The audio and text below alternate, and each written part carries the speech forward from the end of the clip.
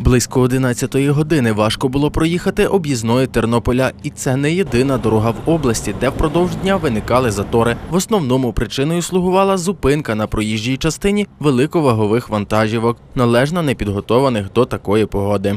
Все ж таки додають проблем в русі е, великовагові транспортні засоби, так як не всі вони обладнані протибуксуючими засобами, так званими ланцюгами. Через те є в них утруднений рух на підйомах, також спусках. Дана ситуація спричиняє затори і утруднений рух остального транспорту. На такі дороги впродовж дня виїздили працівники ДАІ та допомагали розвантажити рух. Перекривати чи обмежувати через негоду проїзд дорогами області, кажуть у Державтоінспекції, наразі потреби немає. Проїзд вулицями Тернополя забезпечено, та на окремих ділянках ожеледиця збереглася. Не на втіху водіям і сніг, що пішов. Втім, хоч і не без нарікань, вони визнають, їздити містом можна. можна їхати.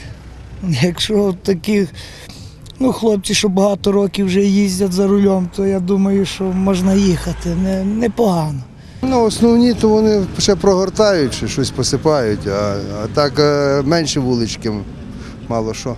Все ж таки хотілося б наголосити учасникам дорожнього руху бути максимально обережними для водіїв. Це так як на дорогах може утворитися сніговий накат, вибирати безпечну швидкість руху, враховувати дорожню обстановку та не робити різких маневрів, так як це може призвести до заносу, в подальшому дорожньо-транспортної пригоди.